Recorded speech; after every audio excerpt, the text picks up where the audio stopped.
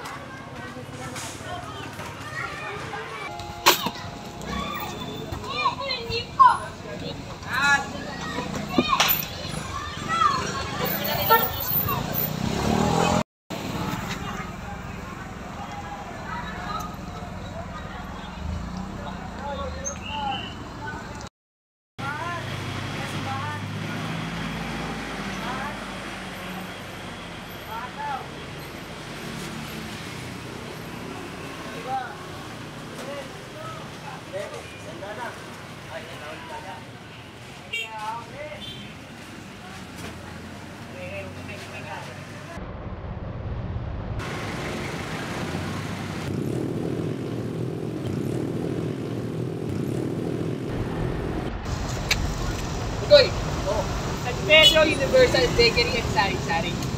May natatandaan ka ba? Oo nga eh, before, ang hirap ng bumili dyan, lalo na, eh, ano mo naman, nagkikit na lang tayo ng sampagita sa simbahan.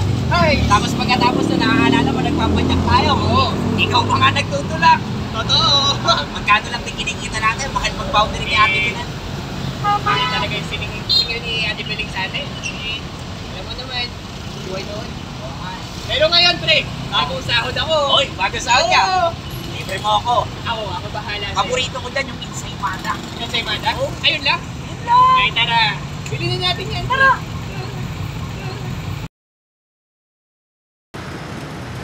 Oh, ito na. Yan na, yan na. Okay, ate. Bili na. Dalawang ensaymada with bacon. Ayan. Pinaka the best.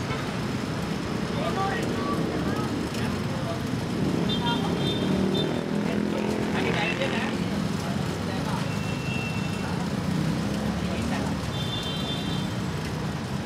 Salamat po. Pero good, kaya tayo ng mga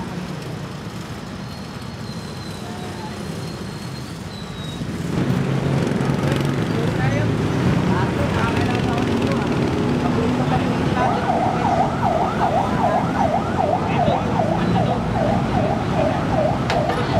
Pero salamat, Carlo, ha?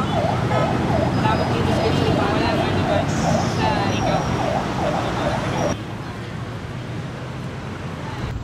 Pansit na may ketchup. Meron. Meron bang ganun? Meron. Sabi mo yan ha. Talaga lang ha. Dito yun, matatagpuan sa may bayan, San Pedro. Sa may bayan ng San Pedro. Oo, tinatawag nilang pansit, masang. Yaan mo. Pansit masang. Oo, ako Pangalan naman, ako naman na. yung taya, ako naman yung taya. Ikaw yung daya. Mm, Kailan? Sasama kita. Sasahod. Sasahod mo ha. Oo. Nirecord mo yan ha. Yes. Sasahod mo ako naman. Pero balik muna tayo rito. Napakasarap talaga na itong ensaymada. eh. No? Lalo na pag libre. Oh, ano? Saan tayo ngayon?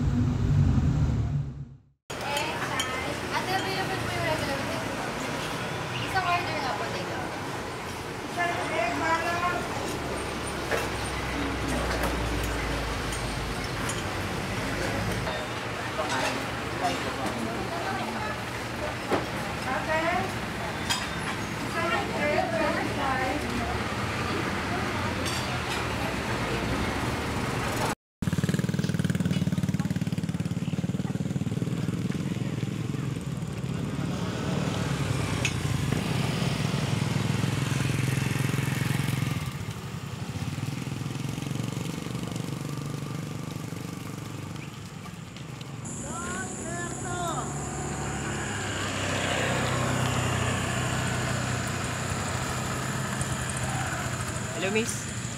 Eh, nakita ko kasi parang malungkot ka, kaya sinabihan na kita. Ah, ano nga bang ginagawa mo dito? Wala, marami lang akong iniisip. Feeling ba? Ako rin eh, nagtambayan ko to kapag may mga iniisip ko problema. Eh, di ba? Tanawin, nakaka-relax kasi siya. So, yung mga problema ko pa. Alam mo na, gumagaan.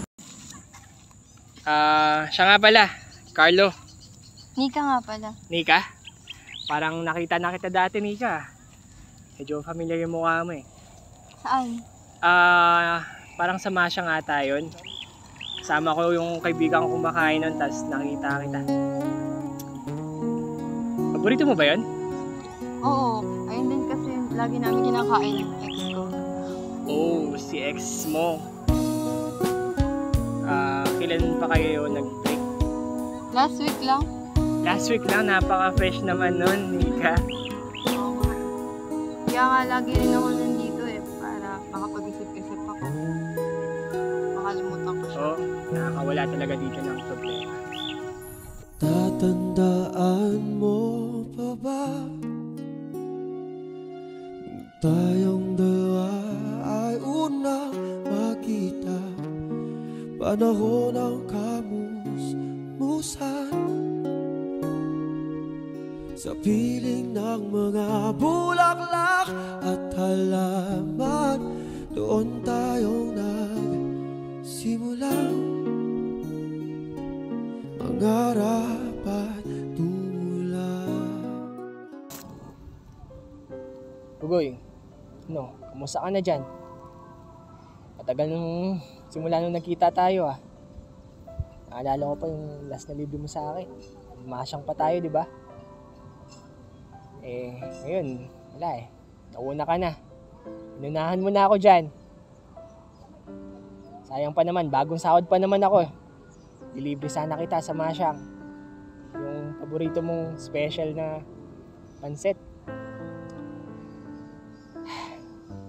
Grabe. Masayahin kang tao, di ba?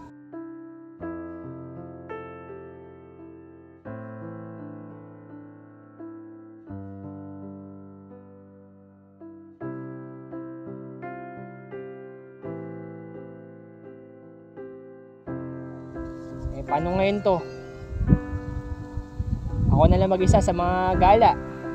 Wala ka na eh. Iniwan mo na ako.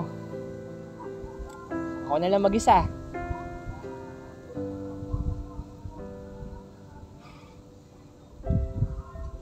Sana masaya ka kung nasa ka ngayon.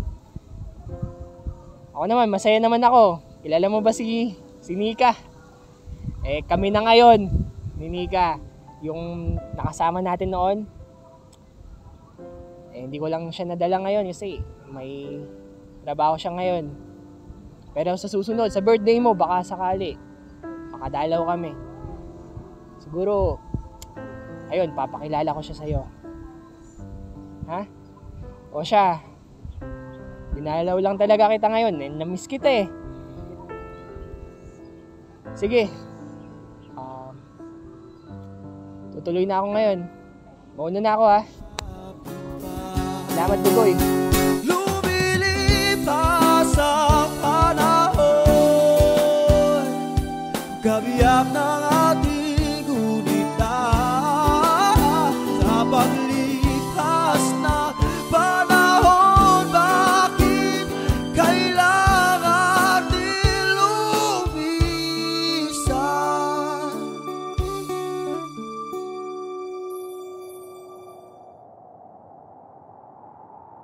Panapanahon ang pagkakataon.